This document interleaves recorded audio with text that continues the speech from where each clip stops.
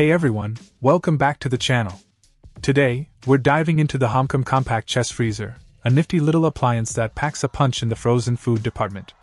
So, let's get straight into it. First off, let's talk capacity. With 3.5 cubic feet of space, this freezer has plenty of room for all your frozen essentials, whether it's beverages, meats, fruits, or veggies. It's the perfect size for apartments, dorms, or even as a secondary freezer in larger households. Now, one of the standout features here is the adjustable temperature settings. With seven different options ranging from 6.8 degrees Fahrenheit to minus 7.6 degrees Fahrenheit, you have full control over how icy you want your goods to be. It's a great way to tailor the freezing experience to your specific needs. And let's not forget about energy efficiency. Equipped with an R600A compressor, this freezer is not only environmentally friendly but also wallet friendly, with low energy consumption that won't break the bank. Plus, it operates at a low noise level of just 40 dB, so you won't even notice it humming away in the background.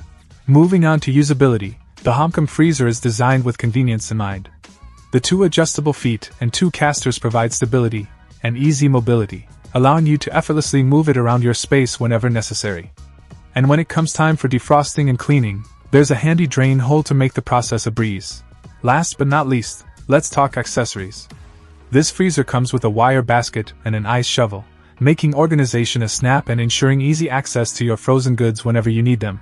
Overall, I'm really impressed with the Homcom Compact Chest Freezer.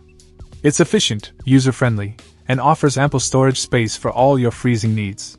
Whether you're a college student in a cramped dorm or a busy professional in need of extra freezer space, this appliance has got you covered.